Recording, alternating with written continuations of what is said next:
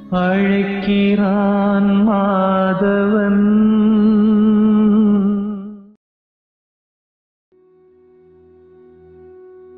எல்லோருக்கும் வணக்கம். இன்றைய வீடியோ பதிவில் நம்ம எந்த விஷயத்தை பற்றி டிஸ்கஸ் பண்ண போகிறோம் அப்படின்னா நீங்கள் யாரிடம் கவனமாக இருப்பது அவசியம் அப்படின்னு சொல்லிட்டு ஒரு ஓட்டிங் ஒன்று கேட்டிருந்தேன். உங்கள் மனதிடம் அல்லது உங்களுடன் பழகுபவர்களிடம் அப்படின்னு சொல்லி கேட்டிருந்தேன். அதிக பேர் எதுக்கு ஓட் பண்ணியிருந்தீங்கன்னா உங்களின் மனதிடம் அதாவது நம்ம மனதுகிட்ட தான் வந்து நம்ம கொஞ்சம் கவனமாக இருக்கணும் அப்படின்னு சொல்லி ஓட் பண்ணியிருந்தீங்க. சில பேர் வந்து கூட பழகுறவங்க கூட வந்து கொஞ்சம் கவனமாக இருக்கணும் அப்படின்னு சொல்லி நீங்கள் ஓட் பண்ணியிருந்தீங்க. இதோட உண்மையான பதில் என்ன அப்படின்னா அதாவது என்னோட பதில் என்ன அப்படின்னா உங்கள் மனதிடம் தான் நீங்கள் கொஞ்சம் கவனமாக இருக்கணும். ஏன் அப்படின்னா அப்போ கூட பழகுபவர்களிடம் அப்படின்னு நீங்கள் கேட்கலாம். கூட பழகுறவங்க பிரச்சனையா இல்லையா அப்படின்ற தீர்மானம் எது பண்ணுதுன்னா அதுவே மனம் தான் பண்ணுது. அதாவது அவங்க ஏதாவது ஒரு செயல் பண்ணுவாங்க. அவங்க பண்ணக்கூடிய செயல்களால் நீங்கள் பிரச்சனை இருக்கிற மாதிரி உங்கள் மனம் கிரியேட் பண்ணுச்சுன்னா அந்த மனம் தான் அவங்கள வேணாம்னு சொல்லி சொல்லுது. அப்போது மனதை தான் நீங்கள் நல்லா கவனிக்கணும். அந்த மனதை தான் நீங்கள் கொஞ்சம் கவனமாக கையாளணும். நீங்களும் மனமும் வேறு வேறு தான். இப்போ நீங்கள் வேறு மனம் வேறு ரெண்டுமே வந்து தனித்தனி தான்.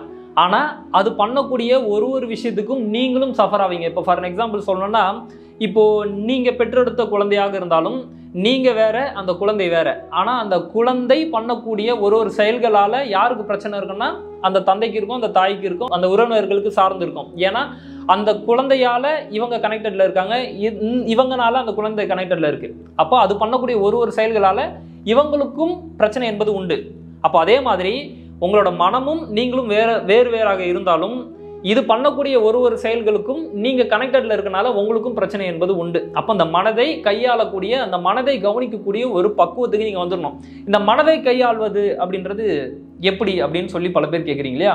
எப்படி இருக்கணும்? விட்னஸாக இருக்கணும். இப்போ மனம் எழுப்பக்கூடிய ஒரு ஒரு எண்ணங்களையும் நீங்கள் கவனிச்சாலே போதும். அப்படியே ஒரு மாதிரி ஆயிடுவீங்க. டே என்னடா என்னென்னமோ சொல்லி கொடுத்துட்டு என்னென்னமோ பண்ணிட்டு அதை பண்ணுன்ற இதை பண்ணுன்ற.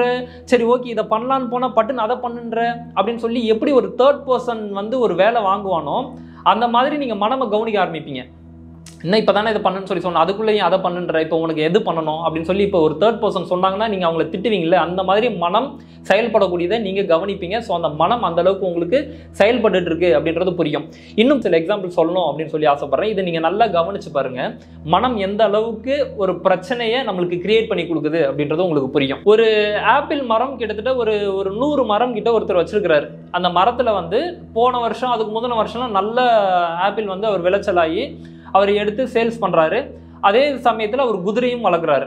வளர்க்கும் போது இந்த வாட்டி நல்ல ஒரு விளைச்சல் வருது. போன வருஷம் அதுக்கு முந்தின வருஷம் இருந்த மாதிரி இந்த வாட்டியும் நல்ல விளைச்சல் இருக்குது நல்ல விளைச்சல் இருந்த உடனே ஒரு மரத்திலேயே கிட்டத்தட்ட ஒரு ஐம்பது ஆப்பிள் கிட்ட இருக்குது அந்த ஆப்பிளை நல்லா பிடுங்கி எடுத்து வெளியே வந்து போட்டதுக்கப்புறம் அவ்வளோ வருத்தப்படுறாரு. அதை பார்த்து பார்த்து அவ்வளோ வருத்தப்படுறாரு. ஏங்க இவ்வளோ வருத்தப்படுறீங்க? எல்லா ஆப்பிளும் வந்து எதுவுமே கெட்டு போகாமல் நல்லா தானே இருக்குது ஏன் இப்போ ஏன் வருத்தப்பட்டுட்டு இருக்கீங்க? அப்படின்னா இல்லைங்க போன வாட்டி நல்ல ஒரு வெ விளைச்சல் இருந்தாலும் சில ஆப்பிள்லாம் வந்து கெட்டு போயிருந்துச்சு அழுகி போயிருந்துச்சு.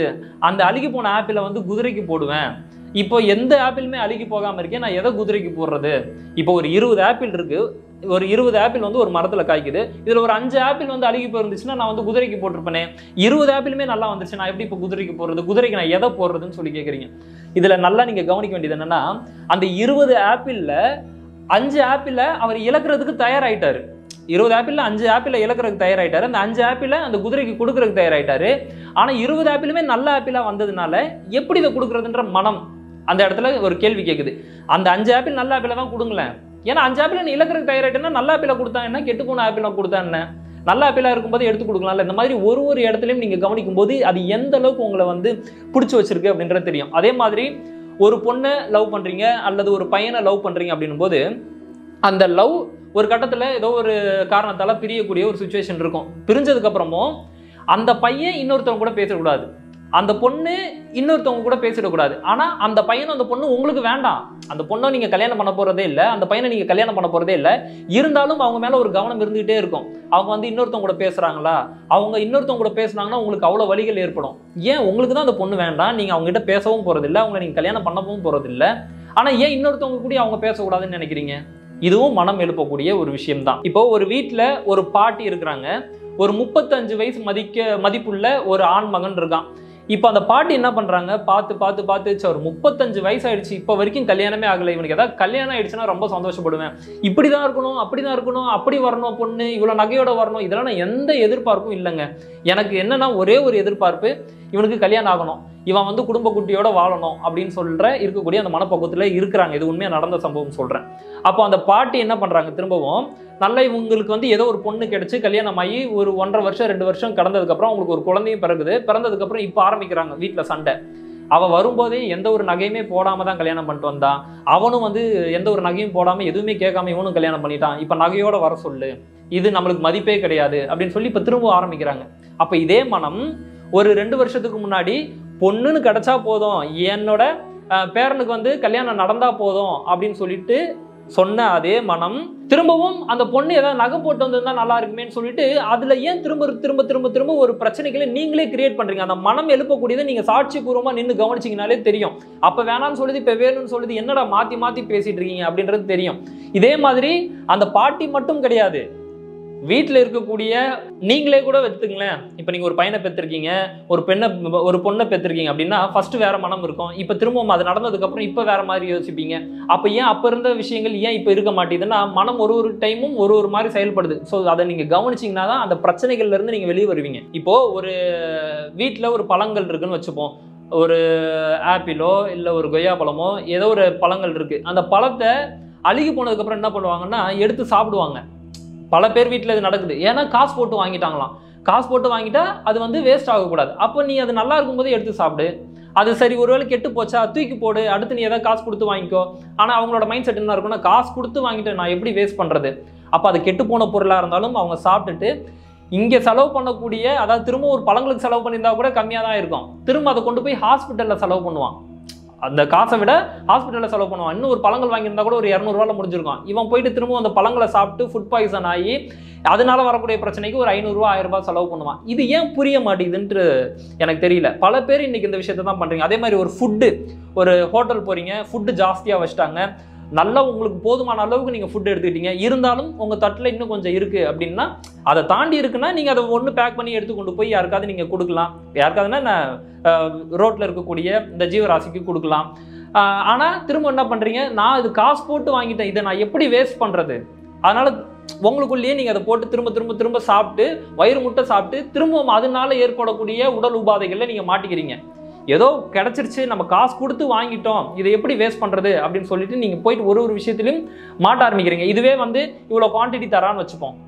இந்த குவான்டிட்டி தந்தாலும் அந்த காசுக்கு அந்த காசுக்கு நீங்கள் ஏ ஏற்றுருப்பீங்க இது போதும் இந்த ஃபுட்டு போதும் அப்படின்ட்டு. இப்போ இந்த குவான்டிட்டியிலேருந்து அவன் இவ்வளோ குவான்டிட்டி தரான் அப்படின்னா இப்போது இந்த இந்த சாப்பாட்டை நான் தான் சாப்பிடணும் ஏன்னா காசு கொடுத்துருக்கேன் நான் எப்படி வேஸ்ட் பண்ணுறது அப்படின்னு சொல்லிட்டு ஒரு எண்ணத்தால் நீங்கள் திரும்பவும் அந்த சாப்பாடை சாப்பிட்டு திரும்பவும் ஒரு உடல் உபாதைகள்லாம் மாற்றுறீங்க ஸோ இந்த விஷயங்கள் எல்லாமே நீங்கள் கவனிக்கணும். இப்போ நான் சொன்னது வந்து ஒரு மூணு டு நாலு எக்ஸாம்பிள் தான்.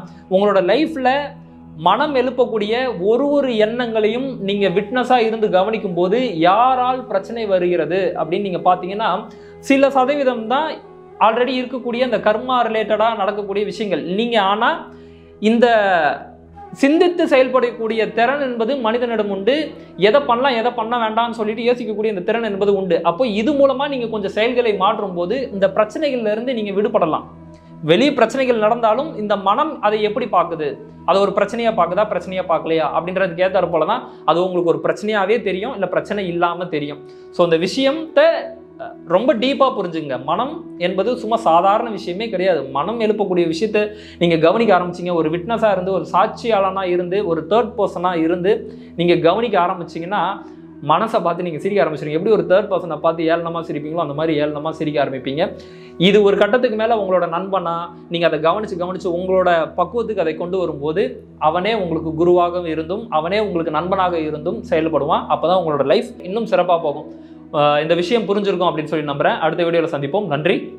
வணக்கம். என்னதான் நம்ம குருமார்களை வழிபாட்டாலும் பெண் சக்தி அப்படின்றது வந்து ரொம்ப இங்க ஒரு அவசியமான ஒன்றா இருக்குது. அப்படி பார்க்கும்போது சித்தர்களே வந்து பல பெண் தெய்வ வழிபாடு பண்ணியிருக்கிறாங்க. அந்த வகையில திதியை பிடித்தால் விதியை வெல்லலாம் அப்படின்னு சொல்லக்கூடிய உங்களோட ஜாதகப்படி உங்களுக்கு என்ன திதி வருது அப்படின்றத பார்த்து அதுக்கான திதி தேவதை என்ன அப்படின்னு நீங்க வழிபடும் போது நிச்சயமாக உங்களோட லைஃப்ல மிகப்பெரிய ஒரு மாற்றம் என்பது ஏற்படும். அப்படி நம்ம கொடுத்து பல பேருக்கு வந்து இன்னைக்கு வேலை கிடைக்காதவங்களுக்கு சிங்கப்பூர்ல டபுள் மடங்கா ட்ரிபிள் மடங்கெல்லாம் சேலரி கிடைச்சிருக்கு. அதே மாதிரி இன்னும் பல விஷயங்கள் வீடு விற்காதவங்களுக்கு வீடு வித்துருக்கு. இந்த மாதிரி பல விஷயங்கள் நடந்துட்டு இருக்குது. வருது இதுக்கான காரணமே என்ன அப்படின்னா அந்த பெண் தெய்வ வழிபாடு என்பது. அந்த பெண் தெய்வ வழிபாட்டை பத்தி நீங்க பார்த்து தெரிஞ்சுக்கணும் அப்படின்னா கீழே கொடுத்துருக்க வீடியோ பார்த்து தெரிஞ்சுக்கணும்